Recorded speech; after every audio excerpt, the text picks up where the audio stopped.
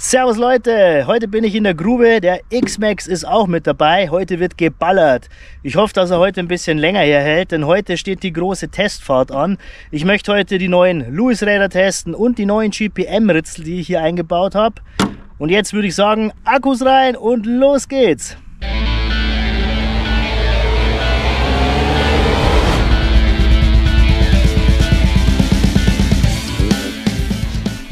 Ja, Freunde, während ich jetzt hier die Akkus reinbaue, kann ich ja noch kurz was erzählen. Beim letzten Mal hat es mir ja leider die Ritzel zerrissen. Ich wollte eigentlich beim letzten Mal schon die Reifen testen. Dann bin ich hier ja kurz eine Minute gefahren und nicht mal nach einer Minute waren die Ritzel leider kaputt. Jetzt habe ich mir ja hier von GPM welche eingebaut. Diese GPM-Zahnräder am Hauptzahnrad 50er Ritzel und als Motorritzel, glaube ich, habe ich jetzt einen 16er drin. Ist jetzt ein bisschen mehr auf Abzug geritzelt damit man eben hier ein bisschen mehr ja, Power hat. Jetzt muss ich bloß hier meine Gummiteile schnell darüber machen. Das muss man ja auch noch testen. Das ist auch so ein Patent hier von TRC. Selbstgedruckte Bügel, damit kann man ein bisschen höhere Akkus reinbauen. Genau eigentlich so 1,5 cm. Und ich habe mir hier einfach so diese TPU-Teile gedruckt. Die kommen jetzt, wie ihr seht, kommen die da einfach hierher. Die drücken dann den Akku noch ein bisschen runter damit man natürlich auch wieder die normale Größe oder die normalen flachen Akkus da etwas flachere Akkus hier reinbauen kann. Das Ganze kommt hier rein, bloß aufs Kabel aufpassen. Wie ihr hört, funktioniert wunderbar. Habe ich auch schon mal in einem Livestream gezeigt und das müssen wir heute auch noch testen. Mal schauen, ob das was taugt, was ich hier so wieder gebastelt habe. Wie gesagt, heute ist großer Test, heute ist Reifentest. Die Louis X Pioneer will ich testen, meine Akkufachbügel äh, hier und die Ritzel von GPM. Also haben wir heute auch so einen Ritzeltest. Das kommt mir irgendwie so ein bisschen bekannt vor hier mit dem Ritzeltest. Aber naja, Spaß beiseite. Ich hoffe echt, drückt mir die Daumen, dass das Fahrzeug hier heute ein bisschen länger hält. Weil schön langsam falle ich schon irgendwie echt vom Glauben ab. Also ich habe noch mit keinem Auto so viele Probleme gehabt wie mit dem großen hier. Aber naja, jetzt schauen wir mal. Jetzt mache ich mal hier meine Plastikteile noch dran. Dann schauen wir mal, ob das Teil heute fährt. Und wie lang vor allem. Ja, der Dusty Motor Coverschutz darf natürlich auch nicht fehlen. Der kommt jetzt auch noch schnell drauf hier, damit das Ganze ein bisschen ja, im Innenraum sauberer ist. So sieht es dann fertig aus. Wie gesagt, wenn man jetzt hier so in der Wiese fährt oder sowas, braucht man diesen Coverschutz hier von Dusty Motors nicht unbedingt. Aber hier mit dem Sand hier, der ist ja dann überall. Und so bleibt es wenigstens ein bisschen sauberer hier. Jetzt gucken wir mal, wie er sich heute schlägt hier. Geschwindigkeit ist mir ehrlich gesagt bei so einem Monster Truck gar nicht so wichtig, sondern dass ich, wenn ich Gas gebe, dass hier die Welt untergeht. Ja, und ich finde, der ist immer noch schnell genug. Ja, er fährt schon ein bisschen langsamer mit der Ritzelung, das merkt man auf jeden Fall. Aber ich denke, vielleicht wird dadurch der Motor nicht mehr so heiß. Der Regler muss natürlich nicht mehr so viel leisten, weil der Motor nicht mehr so viel Power braucht. Also gut für die Elektronik. Und ja, vielleicht hält auch der Akku jetzt ein bisschen länger. Ich habe jetzt mal auf die Uhr geguckt. Ich fahre jetzt gerade drei, vier Minuten. Jetzt gucken wir einfach mal, wie lange der Akku hält. Und dann schauen wir mal.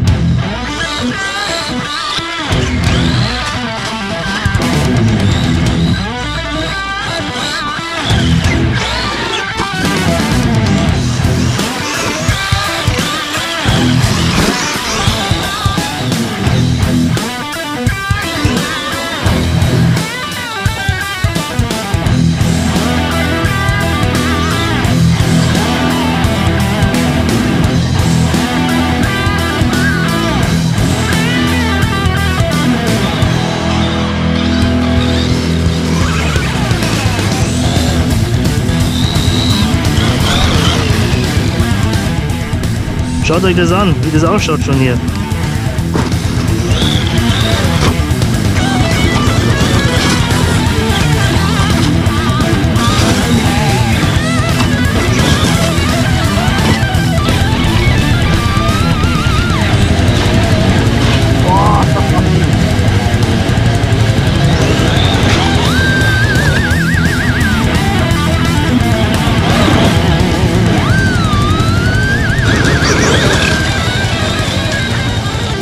Kein Problem. Ich muss nur aufpassen, dass ich oben nicht drüber fliege. Heute ist keiner mit dabei, ich bin hier ganz alleine. Heute durfte keiner raus zum Spielen. Nur ich habe ich die ganze Grube für mich alleine. Auch nicht schlecht. Ja, bis jetzt sieht es äh, gut aus. Noch nichts zerrissen. Ritzel halten auch noch her.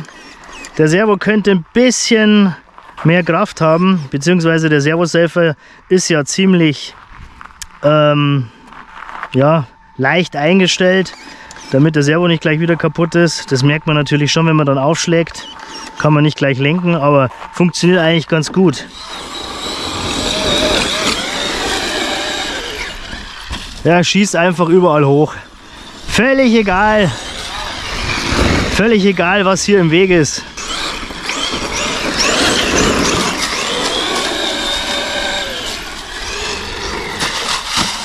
Ja, Freunde, so macht das Autofahren Spaß. So soll es eigentlich out of the box funktionieren, das Auto. So sollte das alles halten und Spaß machen. Ohne Reifenplatzer, ohne Ritzelschaden, ohne irgendwelche kaputten Servos. Einfach ballern!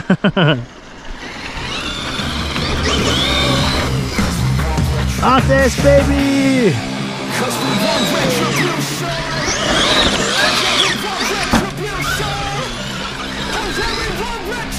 Das ist schon echt brutales Gelände hier, Freunde.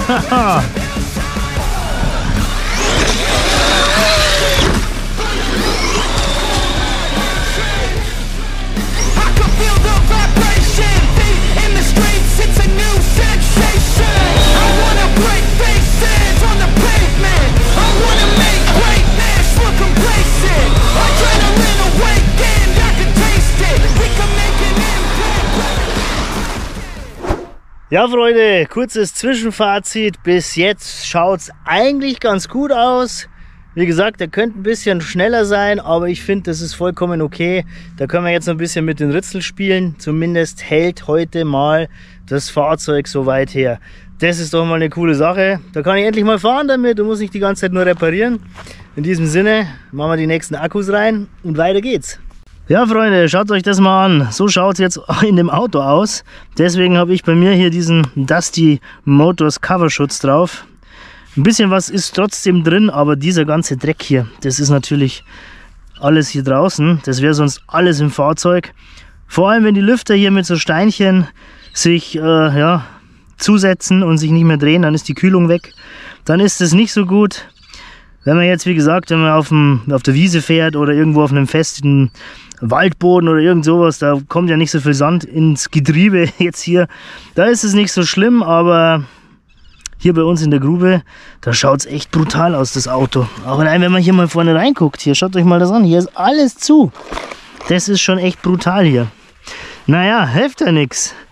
So, neue Akkus sind drin. Weiter geht die wilde Fahrt. Merkt man gleich wieder, dass frische Akkus drin sind.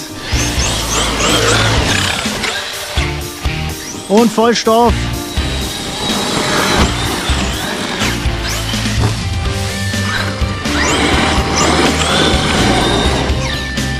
Kurze Reifenwäsche hier.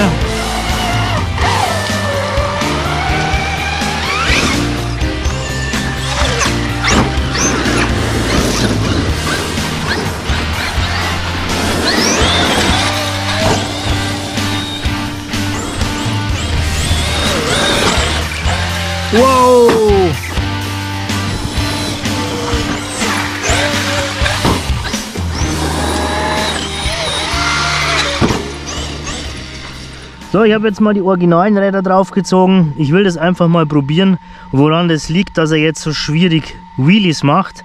Ob das jetzt an den schwereren Lewis-Rädern liegt oder an der Ritzelung.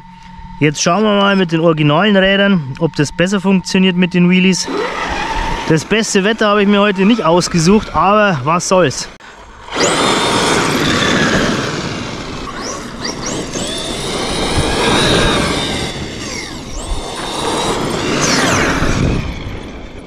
Also liegt definitiv an der anderen Übersetzung und nicht an den Rädern.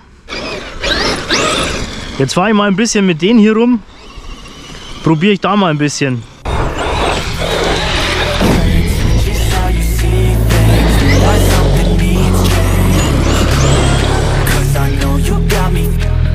definitiv ist der X-Max schon echt ein brutales Teil.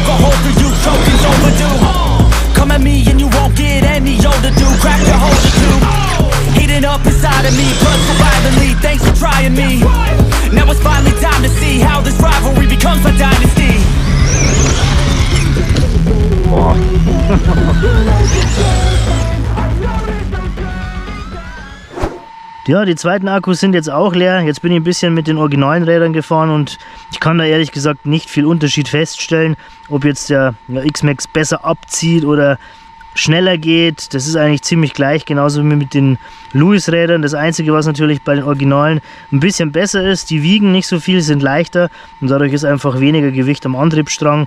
Aber so würde ich jetzt sagen, beide gleich gut. Auch mit der Übersetzung, die ich jetzt habe, blähen die originalen Räder jetzt auch nicht so. Hat man jetzt gesehen, die vorderen haben sich ganz, ganz wenig gebläht oder sind ganz wenig gebläht.